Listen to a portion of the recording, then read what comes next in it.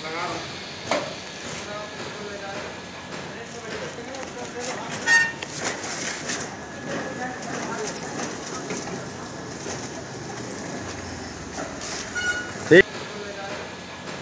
हमारे बीच हैं lady driver.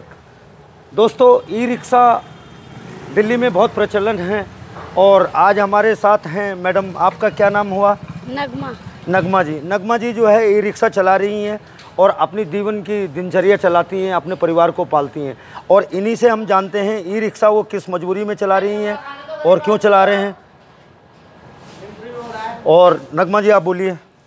Sir ये मैं पाँच साल से चला रही हूँ। ठीक है। और ये अब मेरी अपनी गाड़ी है। अच्छा वेरी गुड जी।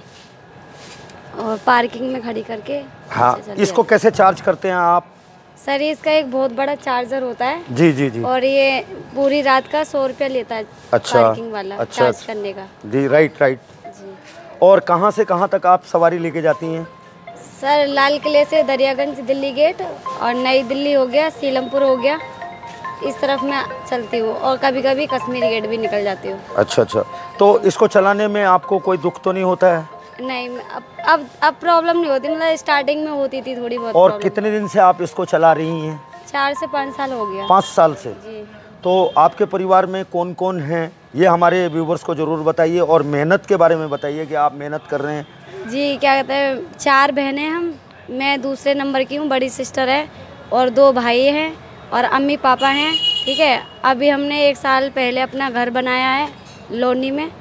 और मैं इसे कर रही मतलब स्टार्टिंग में मुझे थोड़ी प्रॉब्लम होती थी मतलब थोड़ी शर्म लगती थी। सब लोग देखते थे अजीब तरीके से। तो पर अब मेरे को ऐसा कुछ भी नहीं लगता। अब मुझे अच्छा लगता है। अब मुझे सब अच्छा भी बोलते हैं कि आप मेहनत से कर रहे हो, खाओ, अच्छी बात है। सब मुझे मतलब आगे के लिए बढ़ाते हैं कि आप काम करो, मेहनत कर रहे हो अच्छा कर रहे हो। तो मतलब मैं अभी अपनी मेहनत में कर रही हूँ। बहुत सुंदर बहुत सुंदर। दोस्तों, ये हैं हमारे हिंदुस्तान की नारी। नारी शक्ति को पहचानने के लिए इनसे ज़रूर मुखातिब हो जाइए और दोस्तों, देखिए, काम कोई बुरा नहीं होता है, लेकिन अपना घर और परिवार चलाने के लिए इन्होंने इस रिक्शा को चुना है। और जो आज आप देख पा रहे हैं, चैनल को सब्सक्राइब करें, वीडियो को एंड तक देखें। नगमा जी, आप जब रोड पे चलते हैं, लोग आपको किस नज़र से देखते हैं?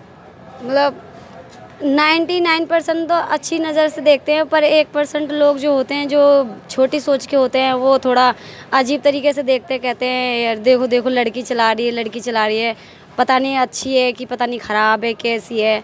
तो मतलब जो 99 परसेंट लोग होते हैं, वो कहते हैं कि नहीं, लड़की अच्छी है, मेहनती है, अच्छी है, तभी तो काम कर रही है, वरना गलत होती तो ये काम क्यों करती? बिल्कुल बिल्कुल।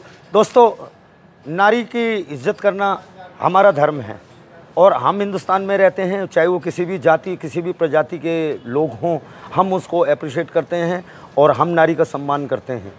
दोस्तों, देखिए, नौकरी भी कर सकती थी। आपने, इन्होंने ही इसी को अपना हथियार बनाया, कमाई का ज़रिया बनाया है और ये चल रही हैं, धूप में भी चल रही हैं, बारिश में भी चल रही हैं, अपने परिवार को पाल रही हैं। आप चैनल को अप्रिशिएट कीजिए और सब्सक्राइब कीजिए और वीडियो को एंड तक देखिए। नगमा जी, जैसे आप कितने बजे से आपकी दिनचर्या शुरू होती है? सर नौ बजे से शाम को सात बजे तक। नौ से सात आप रिक्शा चलाती हैं। कितनी इसमें कमाई हो जाती है? सर हज़ार बारह सौ रुपये हो जाता है और बाकी अगर काम मंदा होता है तो छः सौ सात सौ आठ सौ हो जाता है। देखिए हज़ार से बारह सौ रुपये कमाती हैं। किसी के आगे इनको हाथ फैलाने की ज़रूरत नहीं है। खुद सक्षम है। नारी शक्ति ही हमारी हिंदुस्तान की शक्ति है। और वैसे भी भारत सरकार कहती है फिफ्टी परसेंट आरक्षण।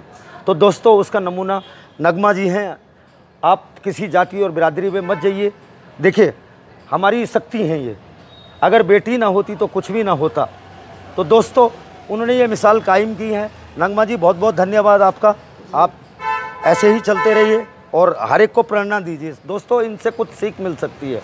चैनल सब्सक्राइब ज़रूर करें वीपी ब्लॉग्स 24 वीडियो एंड तक देखें। धन्यवाद।